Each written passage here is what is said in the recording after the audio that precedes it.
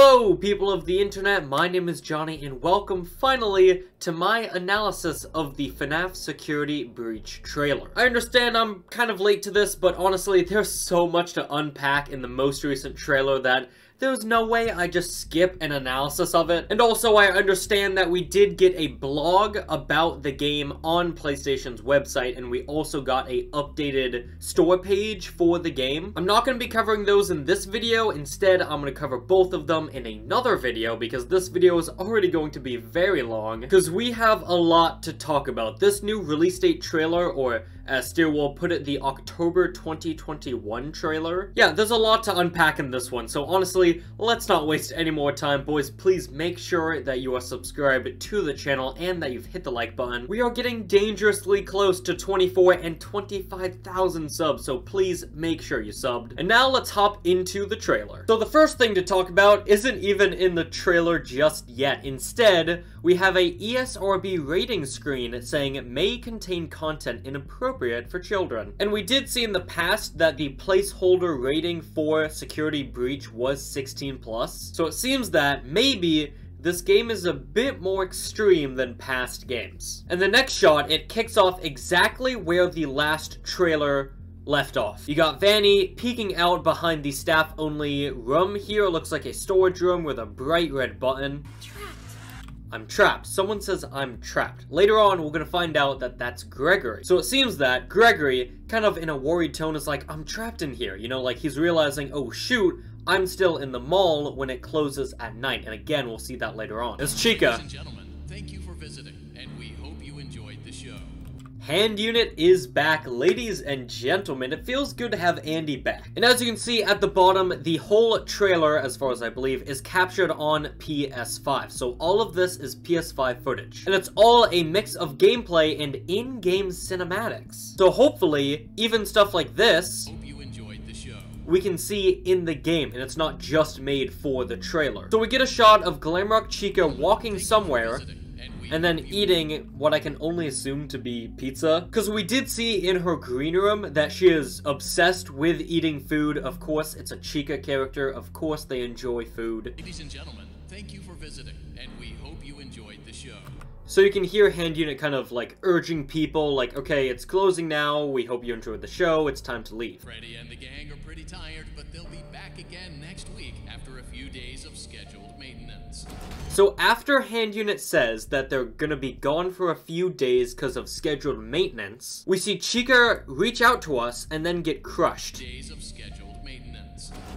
By the way, let me just say, animations look absolutely insane. Now, it's kind of hard to tell what she gets crushed by. I've heard a few people say that we tried to crush her, that this is a crushing machine that we lured her to. It's also curious to think, are they getting the maintenance because they got crushed? And you can see Gregory has the watch at this stage of the game. Then we look, and she's all destroyed. Not quite as destroyed as we're gonna see later on, so something also happens to them where they get even more busted. Freddy Fazbear's Mega Pizzaplex is now closed, initiating nighttime protocols. No, no! Wait, I'm still here! Okay, so a lot to dissect there. First off, Hand Unit says that the Mega Pizzaplex is now going into lockdown, kind of. He says it's closed and that they're going to go with the nighttime protocol. Initiating nighttime protocols. So obviously, everything's gonna get shut down, and we're gonna see that later on with the exit. And Gregory, obviously very concerned because... No, no! Wait, I'm still here!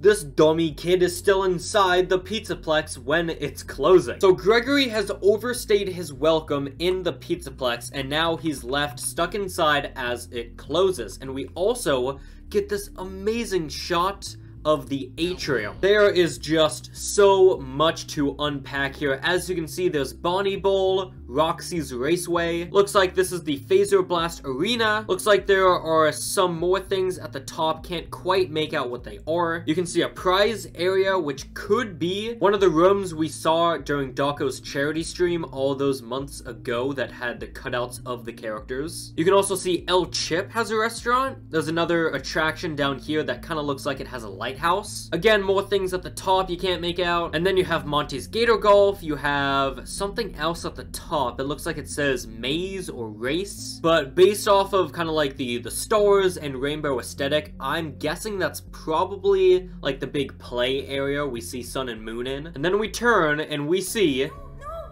the stage. However, it's not the traditional animatronics we're used to. In fact, speaking of traditional animatronics, who's this fella? So you can see just the absolute size of these holograms, which we did also see in the gameplay trailer earlier this year in Monty's Gator Golf Course. And you can also see the staff bots. It looks like they might have some cleaning supplies, so they probably clean the uh, clean the establishment when it goes into the nighttime protocol. And then we get a shot of Vanessa. And let me just say, Steel Wool, massive round of applause. Thank you. Thank you, you guys did such a great job updating the model and listening to the fans. Also, notice the eye color, green eyes, as you can see. I know a lot of people pointed out in Fazbear, no, Freddy and Friends episode, what was it, 4? That her eye color here, they're green. This also looks like this could be a scene where she finds us, because she looks kind of confused, like, what did I just find? Why are you still here? This could be the scene where we're hiding from her, right? And she finds us hiding in wherever we were hiding in the gameplay trailer back in February. Or that could just be us hiding from her because we now know that she's Vanny. But it does seem like she's found something, maybe not Gregory, but she's found something, and she's confused by it. And then we see Glamrock Chica is actually not fully destroyed, because she comes back to life, and grabs us, or at least tries to. And you can see when she comes back, she looks directly at us. So, again, did we cause her to get crushed? I don't know. This scene is very interesting right? Not only because it features the Sun animatronic and their voice, who is voiced by Kellen Goff, right? Kellen voices the Sun and Moon animatronics. It also confirms that the Sun and Moon characters are the same character. Because we're gonna come back to this guy in a quick second. But as you can see, we are in Again, what appears to be the play area because of the nets on the ceiling and the stars on the wall. It even looks like there's a security door and another monitor back there, but this is an office. Maybe not a security office that, you know, will have doors that can block the animatronics, as we're to see later on, but it definitely is an office because you can see the desk fan and the monitors. So as you can see, the lights are off, and Sun is not a big fan of the lights being off.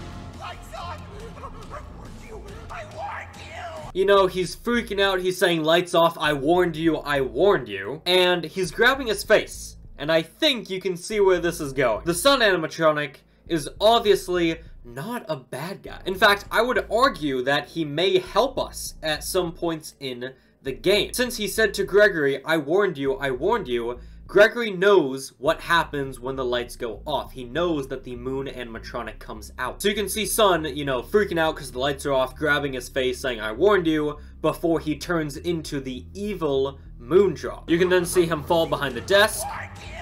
Right there.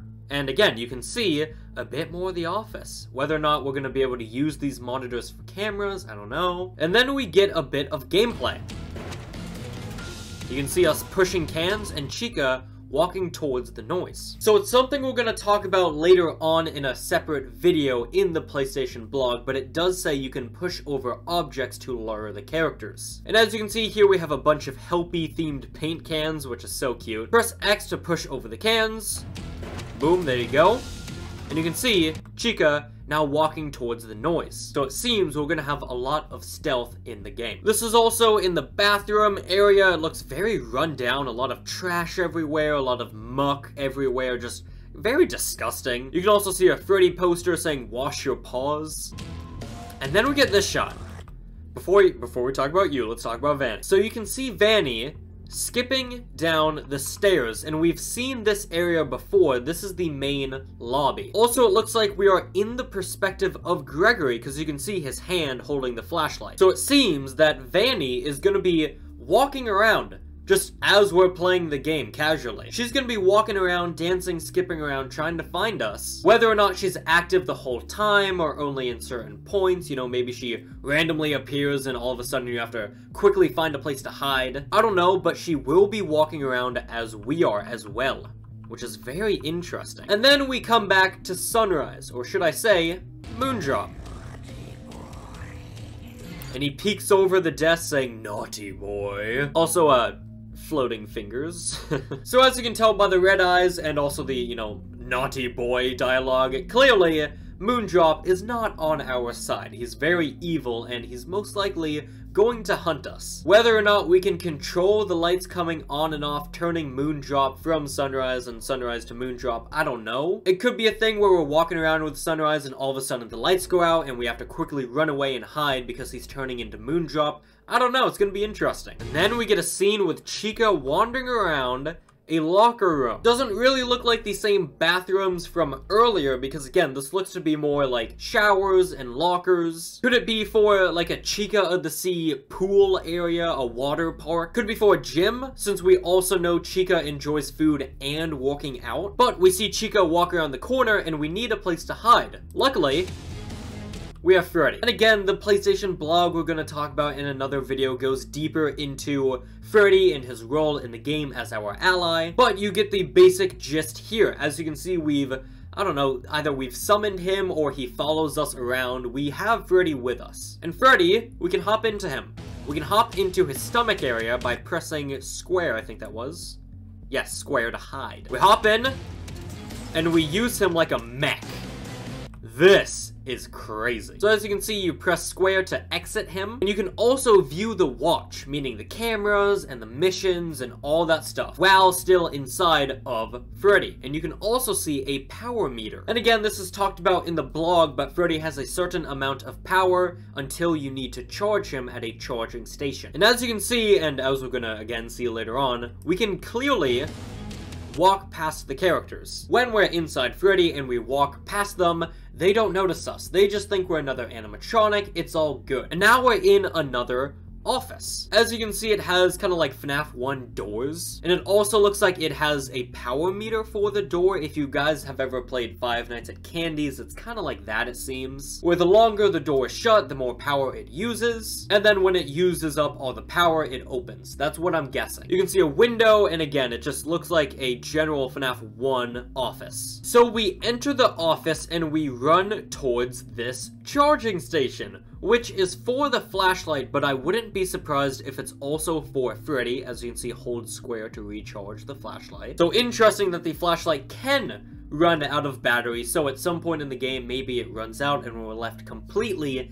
in the dark. Also, you can see the stamina meter. We're going to talk about that later on in the video because we get a better look at running. And then we get a good look at the office, and as you can see, huh, now, doesn't this look familiar? A giant monitor on a desk with a button in the middle, a fan in the background, behind another monitor. Looks an awful lot like Security Breach TV. So, it actually was an office in the game and wasn't just made for the website. You can also see something at the top. To me, it kind of looks like a clock right? Doesn't that kind of look like it has digits on it? But yeah, you can see the camera monitor, which I'm assuming we're going to be able to use for cameras because it's all staticky. And then you turn, you see the window, you see the power meter for the door is full, meaning it's used all the power, and Chica comes barging in. So yeah, she comes to get us, and I'm guessing she captures us, because it looks like we're defenseless here. There's also a sign in the background. I can't quite make it out. It looks like it says something your spot. And then we get a look at the camera system.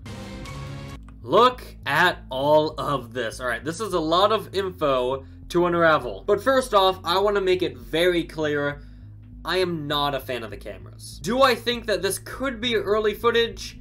Yeah, I guess it's a possibility, but I have full faith in Steel Wool. I, I'll tell you right now, guys, they are game devs. They've been doing this for a long time. I can guarantee every single one of you that they did not look at this and think, alright, that looks good. alright, let's release the game. I am confident that this is not the final camera look. But anyways, talking about the camera system itself, as you can see, we're looking at Cam Office SE. You actually can't see because my camera's in the way. As you can see, we're looking at Cam underscore Office SE, which I'm assuming is Security Office. As you can see, this room here has a security door and also a security logo. And as you can see, I'm guessing this arrow represents us. The red ones probably are the animatronics, since there's two red alerts, one for Roxy, one for Monty, and I'm guessing all of these blue rectangles are cameras that we can view. You can also see that the cameras are able to be zoomed in and out and also panned. A couple decorations around the place, it looks like just a, a regular old office with an exit, a helpy,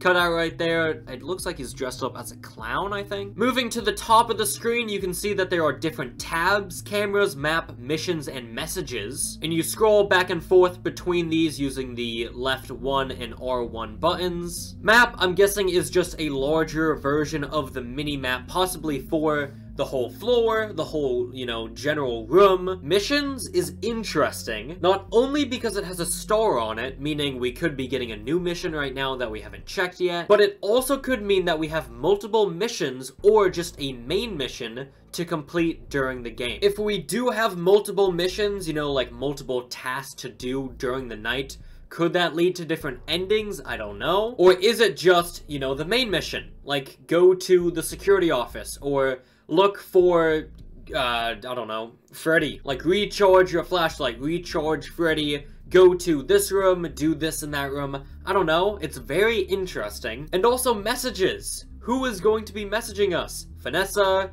Freddy? What types of messages are they? Are they just gonna be like text that show up on the screen? Could it be like voice recordings? Could it be the walkie-talkie that we know um, Vanessa has? You should be able to escape the security at 6 a.m. So Freddy tells us that the security doors are locked and closed and we can't get out until 6 a.m. So I'm guessing that this means the game takes place over the course of only a single night. Because if they open at 6 a.m., why would we stay in there for, you know, five nights? Even though it is five nights at Freddy's, it seems like we're looking at one night at Freddy's. So everything we have to do, all the tasks, you know, all the missions, whatever we have to do to get out of this place has to be done in one night, six hours. Another cutscene as well shows Monty doors reopen at 6 dangling on a ride, jumps down onto a catwalk. Now we actually know where this is because of the catwalk specifically. As you can tell by the red mohawk and, you know, the green aesthetic of the ride, this is themed after Monty, and it's hanging from the ceiling. I guess kind of like a sky lift, if you want to call it that. But we know where this is because when Monty jumps down, he jumps down onto, again, a catwalk. And you can see leaves behind him. Now, we've seen this catwalk before, and we've seen these leaves before. It's Monty's Gator Golf Course. In the gameplay trailer from earlier this year, you can see the catwalks on the top of the screen, up near the ceiling. So we know this takes place in his Monty Gator Golf area. Until then, keep moving and try not to draw attention to yourself. So Freddy then says keep moving, or until then keep moving, and try not to draw attention to yourself. So kind of like reinforcing, you know, this is a stealth game, but also you have to stay on your feet. Because again, as we're going to find out in that blog post, these animatronics are smart. We have never seen anything like these animatronics in FNAF ever. Then we get a shot of the office camera, which is a different location in the Pizzaplex, as you can tell from the mini-map. And we get a shot of Monty clipping through the door, but also bashing on the door, in which you can see Gregory is inside of. So that means we can see ourselves, we can see Gregory on the cameras when we check our watch. You can also see that the camera we're looking at is now green. You know, it's highlighted, meaning we are watching this cam. Then we move on to the same location, different camera, Bottom right this time, Hall 2. We pan down. As you can see, the slider goes down as we pan down. Try not to draw attention. And we see Glamrock Chica. Fixed, however. Right, take notice of that. She's fixed. So it seems that they're not going to get busted up until later on in the game. And then we get a shot of us trying to run to the exit, as you can see, at 12 a.m. So we know it goes on lockdown, right? It goes into nighttime protocol at 12 a.m. because we see the doors close If there is another right? We can't escape now. You also get a pretty good shot of the stamina. As you can see, look at how fast it drains as we're trying to run to the exit. Also, who's that right there? Who's that right there? It's Mr. Cleanbot! And also a exit for parking specifically. But yes, this is the, the main lobby. As we're gonna see later on, and as you can compare right now, this is the main lobby. Now, it's gonna cut to something very interesting, but I want to listen to what Freddy has to say first. to yourself. If there is another way out, I will help you find it. So Freddy says, if there's another way out, I will help you find it. So obviously enforcing the fact that yes, he's on our side, he's our ally, he wants us to get out. I don't think we've really questioned why Freddy is helping us, why he's the only animatronic helping us. I guess that's probably something that you could theorize about. He also says if there's another exit, so could there be multiple ways to escape? Hint, hint, multiple endings? I don't know. And then yes, the scene that everybody's talking about, Music Man. I will help you. Because good god, whose idea was it to bring Music Man back? I think everybody popped off when we saw Music Man. I mean, you know, we saw his giant six legs in episode 3 of Freddy and Friends, but we didn't actually think it was Music Man. I mean, there were definitely, definitely some people who said, oh my gosh, that's Music Man, because he, you know, he does have six legs, he's kind of spider-like, but we didn't actually think it was gonna be him coming back. So, very interesting. You can see he is a bit different. It looks like his teeth have the black notes that you see on pianos. He also has some headphones on. Oh yeah, and of course, you know, the giant six legs, you know, being a giant freaking spider coming out of a tunnel. So, why they would have tunnels this big, and why they would have a Music Man this big and terrifying in the establishment, I don't goddamn know. but I think the things that people are most taking note of are the arcade machines, which as you can see, one of them features Theodore and Ella from the Silver Eyes book. I have no clue why they are in FNAF Security Breach, because it's supposed to be like its own separate timeline of events, you know, like a different universe in a way. So, I don't know, man. I, I, I really do not know why the OG trilogy of book characters are are in the new game. I mean, we've already seen kind of the games and most recently, you know, the, the Fazbear Fright books kind of overlap in a way, but I don't know, man. It's just seeing Theodore, who is exclusive to the Silver Eyes trilogy, why is he here? You can also see a button masher and also a Fredbear eating burgers arcade machine. So interesting that 8-Bit Fredbear makes an appearance, because he was only in the FNAF 4 minigame, which again, it's like, why is why is he here? You can also see a forklift, which we know we can drive vehicles in the game. I'm guessing it's probably only talking about the race carts in Roxy's Raceway. But I don't know, man, it would be cool to like run into Music Man with a forklift. Uh, but yeah, this thing, absolutely terrifying. Also the flashlight, god damn bro. What the hell? I brought the entire sun as a flashlight. Will help you. Look at that! That's crazy. That, that's too much light. And then we see us walking past Chica again. They are completely unfazed when we're inside of Freddy. So we're able to like dodge and walk past them with ease. And then, oh my god, dude. These scenes, alright? I, I get it. Right, Steel Wool, you're trying to flex. I know a lot of you guys came from Pixar, you know, you were animators at Pixar, but you don't have to flex this much. Sheesh! I mean, just watch. Bruh, Bruh! This is crazy! So obviously not much to talk about in the animation, it's just a way to introduce the characters, right? First up, you got Roxanne the Wolf, and we do get to see another mechanic in Roxy's introduction, the Faz Cam, which as you can see when we flash, stuns the characters. And it appears not only does it stun Roxy, it also stuns the staff bot. As you can see, he's looking this way, turning his head, but when we flash, he's standing still, kind of like shaking his head like he's dazed. Ready, look.